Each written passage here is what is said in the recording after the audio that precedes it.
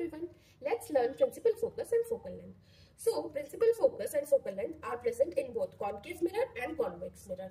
In concave mirror, when the parallel rays of light are falling, then after reflection, they appear to converge or meet at a point. This point is known as the principal focus of concave mirror.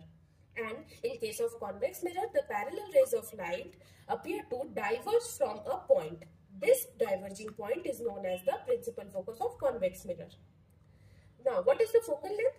The distance between this pole and the principal focus is known as the focal length.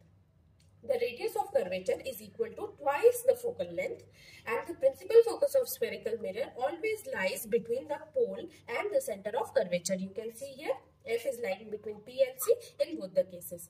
Please like, share and subscribe to my channel for more such learning videos.